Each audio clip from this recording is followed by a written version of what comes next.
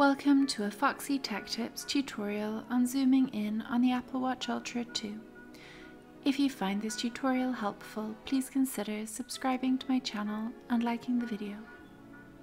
Zooming in on the Apple Watch can help you to see things clearer on the small screen. It is easy to do, but you have to have the setting enabled before you can do it.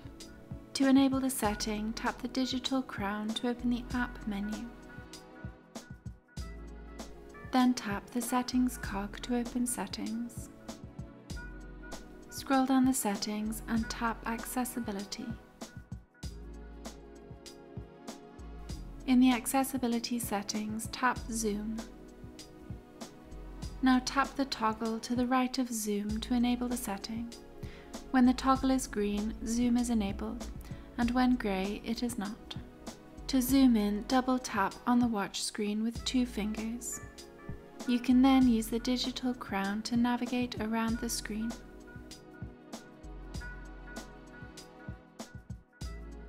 In the top right corner, you can see your location on the screen. To zoom out, simply tap two fingers on the screen again.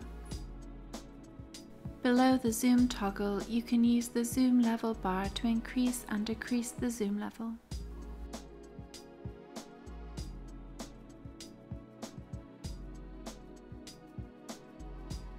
And that draws an end to this tutorial.